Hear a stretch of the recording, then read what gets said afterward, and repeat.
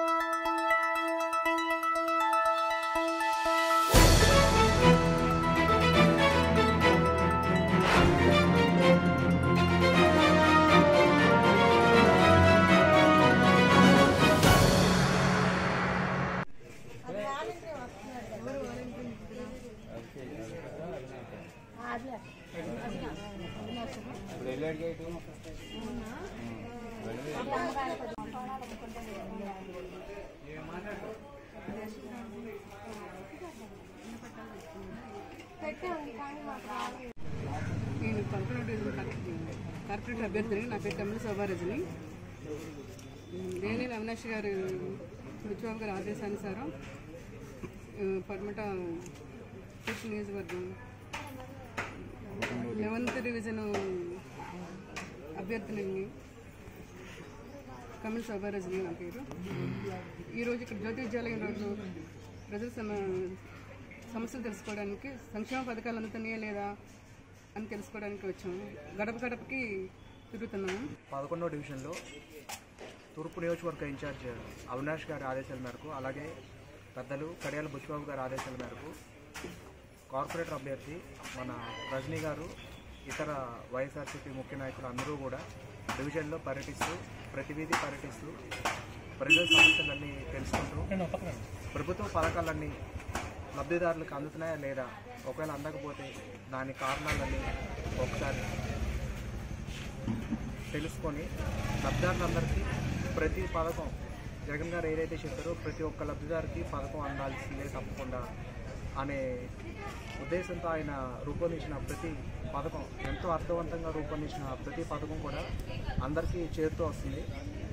అక్కడక్కడ ఏమన్నా చిన్న చిన్న కాంప్లికేషన్స్ వల్ల ఏమన్నా పథకాలు అందకపోతే దానికి కూడా పరిష్కార మార్గంగా అవినాష్ గారి సహకారంతో మేము ముందుకెళ్ళి సమస్యలన్నీ పరిష్కరిస్తూ ఉన్నాం. ముందుగా మన రాష్ట్ర ముఖ్యమంత్రి వైఎస్ జగన్మోహన్ రెడ్డి గారికి మా తూర్పు నియోజకవర్గం తరఫున అదేవిధంగా పదకొండవ వార్డు ప్రజల తరఫున కూడా ధన్యవాదాలు తెలుపుకుంటున్నాను.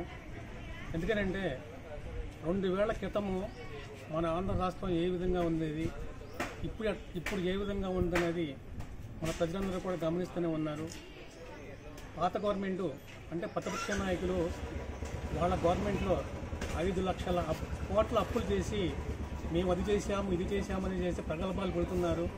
కానీ వాళ్ళ రోజున మా నాయకుడు మా ముఖ్యమంత్రి గారి వాళ్ళ రోజున ముఖ్యమంత్రి అయిన తర్వాత రెండు సంవత్సరాలలోనే నైంటీ పర్సెంట్ అభివృద్ధి పథకాలు చేసి దేశంలోని అత్యుత్తమ ముఖ్యమంత్రిగా శభాష్ అనిపించుకున్న ముఖ్యమంత్రి ఏకైక ముఖ్యమంత్రి మా జగన్మోహన్ రెడ్డి గారు అనేసి మేము సగర్వంగా కూడా ఇవాళ రోజున మేము చెప్పుకుంటాం కూడా ఈ రోజు ఈ రోజున.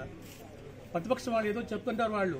అది చేసేస్తున్నారు ఇది చేసేస్తున్నారు అనేసి ఆ దేవాలయం మీద దాడులు చేస్తున్నారు ఇదని కానీ కూడా దేవాలయాల మీద దాడులు చేసింది ఎవరో కూడా మనం రీసెంట్గా మనం చూస్తూనే ఉన్నాము. అవన్నీ కూడా ఏంటంటే జగన్మోహన్ రెడ్డి గారి మీద బురద జల్లడానికే కేవలం ప్రతిపక్షాలు ఈ విధంగా కుట్ర చేస్తూ ఒక నాటకాన్ని ఆడుతున్నాయి తప్పించి అక్కడ ఏమీ లేదండి. అవసరమైతే ఏంటంటే మేము సిబిఐ కూడా రెడీగా ఉన్నాము. మీరు రెడీగా ఉన్నారా అనేసి ఈ సభాముఖంగా కూడా నేను సవాల్ ఇస్తున్నానమాట నేను. అదేవిధంగా ఈ రోజున తూర్పు నియోజకవర్గంలో ఇగో ఇక్కడ ఏదో జరిగిపోతుంది అనేసి తూర్పు నియోజకవర్గంలో ఉన్నటువంటి పదకొండవ వార్డు ఏదో జరిగిపోతుంది అనేసి ప్రతిపక్ష నాయకురాలు ఏం చేస్తున్నారంటే వాళ్ళు ఇంటింటికి వెళ్ళిపోసేసి వాళ్ళ ఇంట్లో కూర్చుని ఏదో మంతనాలు చేసుకుని రోడ్ల మీద ఇడ్లీ పని కనపడితే వాళ్ళకి ఇడ్లీలు పెట్టి వీళ్ళు పెట్టండి. అవన్నీ కూడా ఊరిని షో చేస్తున్నారండి వాళ్ళ నాయకుల్లాగా. కానీ కూడా ఏంటంటే అవన్నీ కూడా ప్రజలు ఎవరు కూడా నమ్మట్లేదు. ఈ రోజున నేను నేను ఒకటే చెప్తున్నానండి.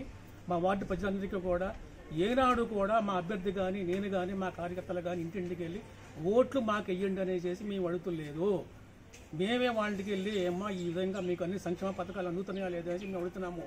అంతకు మించి చేసి మాకు ఈ విధంగా ఓట్లు అనేసి మేము అడుగుతాం కానీ ప్రజలే మా ముందుకు వచ్చి లేదు మాకు జగన్ గారు మాకు రెండేళ్ళు మాకు నోట్లు ఇళ్ళు తట్టి ఈ విధంగా మాకు చేసినాడు మాకు ఇళ్ళ పట్టాలు ఇచ్చాడు పెన్షన్లు ఇస్తున్నాడు అమ్మ ఓడిచ్చాడు ప్రతిదీ మాకు ఆయన వచ్చినాక ఎంతో బాగుంది మాకు.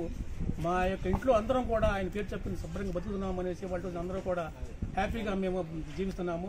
అందుకని తప్పనిసరిగా మా ఓట్ల మా ఓట్లన్నీ కూడా మీరు అడగకపోయినా సరే మీకేస్తాము ఫ్యాన్ గుర్తుకేస్తామని చేసేసి అట్లాగే ఈ వార్డు అభ్యర్థి కమ్మిలి రజీ గారిని గారిని కంపల్సరీగా అత్యధిక మెజార్టీతో గెలిపించుకుంటామని చేసి ప్రతి ఒక్క కార్యకర్త కానీ ప్రతి ఒక్క ఓటర్ కానీ విధంగా చెప్తున్నారు. ముందుగా ఏంటంటే ఈ ఈ పదకొండవ వార్డు ఓటర్ మహాశీలందరికీ కూడా ముందుగా వారికి ధన్యవాదాలు.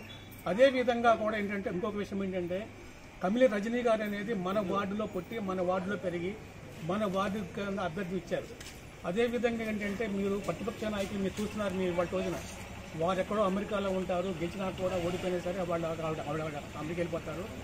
దాన్ని బట్టి ఎవరు మనకి పనిచేసే వ్యక్తులు మీరు అర్థం చేసుకుని దయచేసి ఎవరైతే మనకి బాగుంటుంది ఎవరికైతే మనం ఫోన్ చేయగానే రెస్పాండ్ అవుతారు దాన్ని బట్టి మీరు ఆలోచించుకుని మీరు ఏ పార్టీకి వేయాలో అనేది మీరు మీరే నిర్ణయించుకుని వాళ్ళకే ఓటు వేయించాలని కోరుతున్నాము.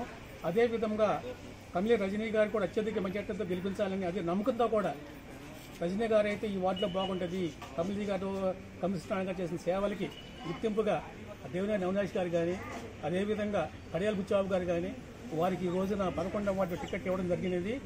వారికి మద్దతుగా మేమందరం కూడా కార్యకర్తలంగానే అందరం కూడా మనస్ఫూర్తిగా తిరుగుతున్నాము. దీంట్లో ఎటువంటి కూడా ఆక్షేపణ లేదు.